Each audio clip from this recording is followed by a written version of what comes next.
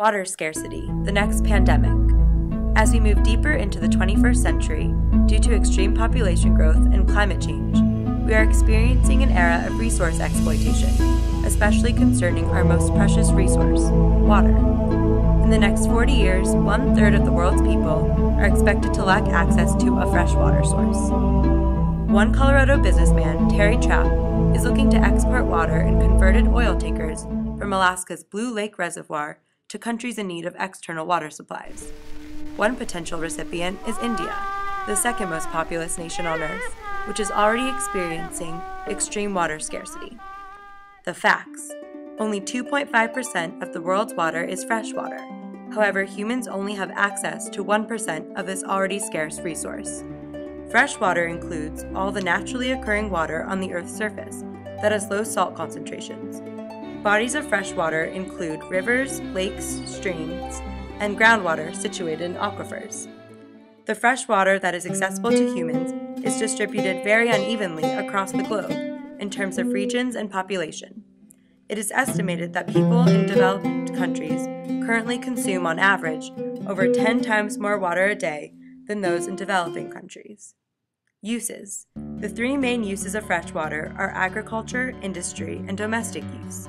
In 2000, it was estimated that 86% of the world's total freshwater withdrawal was for agricultural purposes. Industry is the next largest user of water, with thermonuclear power plants, mining, aquaculture, and the raising of livestock as the major industry uses of water.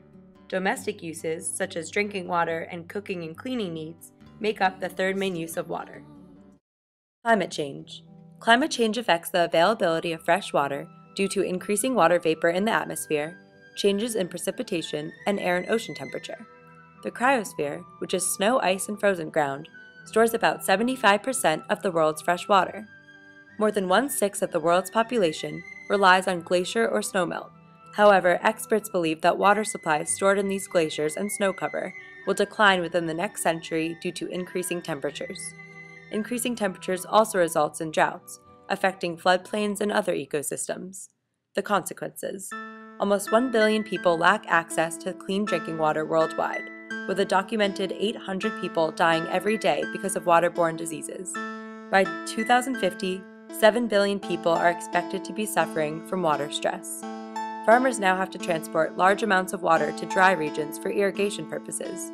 Freshwater scarcity also leads to conflict over water rights, Lack of access and poor distribution of fresh water provokes violence in many communities. Solutions There are ways, however, to adapt to the growing scarcity of water. Desalination, removing salt from water, is possible through processes such as electrodialysis and reverse osmosis. These processes are becoming more cost effective by advances in energy efficient technology. More efficient agricultural practices, such as drip irrigation and micro sprinklers, are used less than 2% of the time. In addition to large scale technologies, every individual has the power to help preserve this precious resource. So, what can you do to cut down on your water waste? Secure the plumbing in your home. Leaky faucets can add up to 20 gallons of wasted water a day. A running toilet can waste 10 times that amount. Take shorter showers. Showers add up to approximately 30% of home water use in the US. Choose landscaping appropriate for your area utilizing plants native to your climate. Eat less meat, especially beef. A single hamburger requires 630 gallons of water to make. These are all simple steps you can take. As our world continues to modernize and our population continues to grow, it is becoming more and more difficult to maintain water equitably and sustainably. But there is hope. As we have just addressed, there are many technologies available and behavioral changes we can make to help alleviate water scarcity. But the first step towards reducing this problem is a pledge of support from every nation and person across the world before it's too late.